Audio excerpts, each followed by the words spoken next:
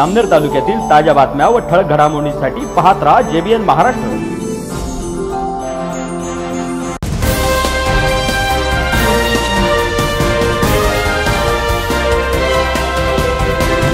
नमस्कार मी मिनल चौधरी. पाहूया काही ठळक वृत्त.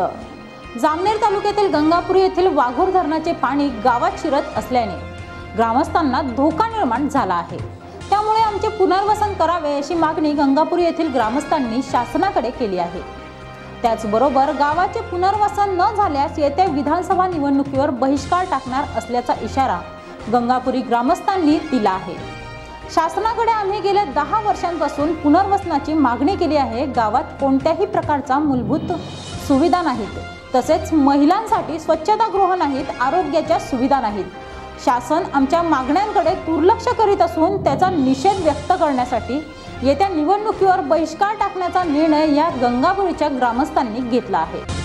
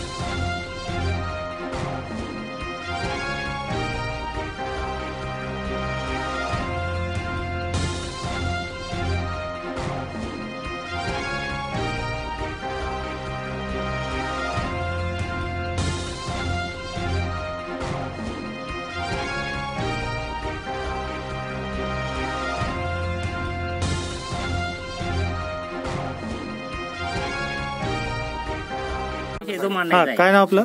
माझं नाव एक मिनिट. काय नाव आहे काय दादा आपलं?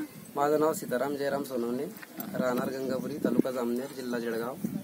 आज रोजी आमच्या अं, अं, आम- आमचे जे जळगाव जिल्ह्यातील वाघोर डॅम जे आहे ते वाघोर डॅममध्ये जवळजवळ आठ ते नऊ गावं अं, त्यांनी अक्वार केलेले होते. त्याच्यात डोरी आंबेलोड हातगाव अं, तसेच भरपूर गा- गाव आहेत. त्यापैकी आमचं एक गाव आहे गंगापुरी गाव म्हणून. तर आमचं एक गाव त्यांनी आदिवासी पूर्ण गाव आदिवासी असल्यामुळे आमच्या गावाकडे त्यांनी दुर्लक्ष केलं. आमच्या गावाला सोडून दिलं. नंतर त्यांच्या नंतर लक्षात आलं. का आम्ही जो आपल्याला इ-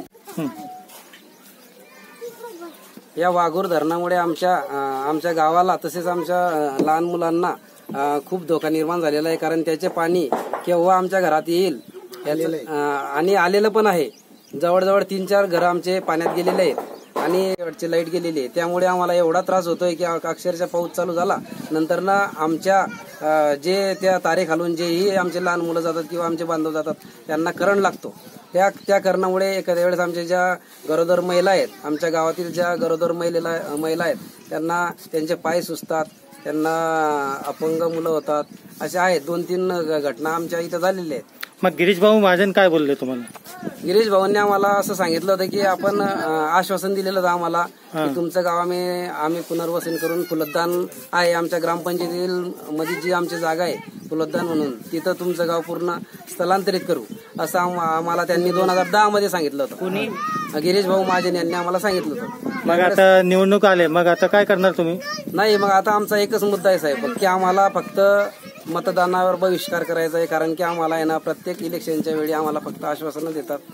आणि नंतर ना इलेक्शन झाल्यानंतर आमच्याकडे कुणीच पाहत नाही. आम्ही आदिवासी वस्ती असल्यामुळे आदिवासी लोक असल्यामुळे शंभर टक्के आदिवासी आहेत आम्ही. आमचं महाराष्ट्र शासनाचं यादीत नाव आहे की आ- आदिवासी म्हणून जे आमचं आदिवासी विकास प्रकल्प आहे तिथं सुद्धा ज- जळगाव जिल्ह्यात गंगापुरी गावाचं नाव आहे साहेब. की हे गाव शंभर टक्के आदिवासी आहे. त्यामुळे कसं आहे की आम्हाला आमच्याकडे कुणीतरी लक्ष द्यायला पाहिजे. गिरीश भाऊंनी आता तरी आम- आमच्याकडे लक्ष द्यावं आणि आम्हाला अं, तात्काळमध्ये फुलदान इथं आम्हाला स्थलांतरित करावं. मी उषा मुकेश मी राहणार गंगापुरी. आमच्या गावाला इथली समस्या झाली सर की आम्ही सांगू शकत नाही. चार मिर पाणी झालेलं आहे आणि डिलिव्हरी महिला जे त्यांना दोन चार महिने झाले. त्यांना त्या पूर्ण सुचतात आणि अपंग मुलं पैदा होतात त्यांना. हे लोक काही ध्यान देत नाही आमच्याकडं. हे कशामुळे होतं हे आम हे ज्या बिजली गेली ना चार एम त्याच्यामुळे आम्हाला होतंय आणि मुलांना पण त्रास होतोय. आणि धरणाचं? धरणाचं पण पाण्यामुळे खूप त्रास होतोय. शौचालय जायला जागा नाही आम्हाला बसायला. आम्ही कुठे जाणार आहे? तुम्हाला शासनाची मूलभूत सुविधा भेटली आहे का? नाही भेटली नाही सर. कोणी वारलं त्यांना सुद्धा स्मशानभूमी नाही. काय नाही आम्ही काय करणार आहे? इथला आमदार कोण आहे तुमचं? आमचे गिरीश भाऊ महाजन. आहे तुम्ही त्यांना तक्रार दिली आहे? हो दिली काय बोलले? आ, ते म्हणतो आम्ही वारंवार देतो आणि ते आम्हाला आश्वासन देतात की बा करू करू पण आतापर्यंत तरी करत नाही ना. जेव्हा ते निवडणूक असतात ते आमच्या गावामध्ये येतात फिरून जातात पूर्ण गाव पाहतात आणि ते झाल्यानंतर कोणी येत नाही इथं पाहायला की काय झालं नाही झालं. मग आता निवडणूक लागली. आता तुम्ही आम्ही काय बहिष्कार टाकणार आहे आम्ही कोणी वोटिंग न करणार आहे इथं.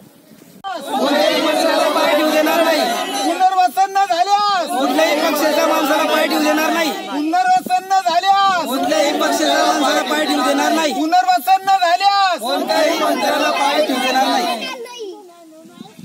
पुन्हा भेटू तोपर्यंत पाहत रहा. JBN Maharashtra news. नमस्कार.